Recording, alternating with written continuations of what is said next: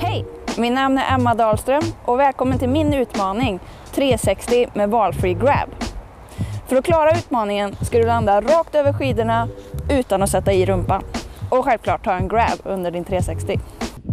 När du ska välja grab så finns det massvis med olika som du kan ta. Men det kan vara bra att öva på en som du känner dig bekväm med på bar backe.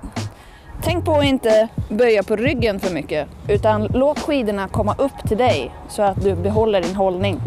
När du ska ta fart till hoppet kan det vara skönt att hitta en plats där du kan åka rakt ner så du slipper tänka på hur mycket du ska svänga eller bromsa. Det är bra att ha en låg tyngdpunkt när du åker in mot hoppet. Så böj på knäna och tryck gärna smalbenen mot pjäxplösen.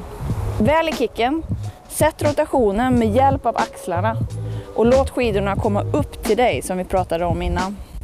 När man gör en 360 med grab så kan grabben sakta ner rotationen lite grann. Så ta gärna i lite extra. När du har fått tricket på film eller framför din ledare, då har du klarat min utmaning och min pin, stilhopparen. Lycka till! Thank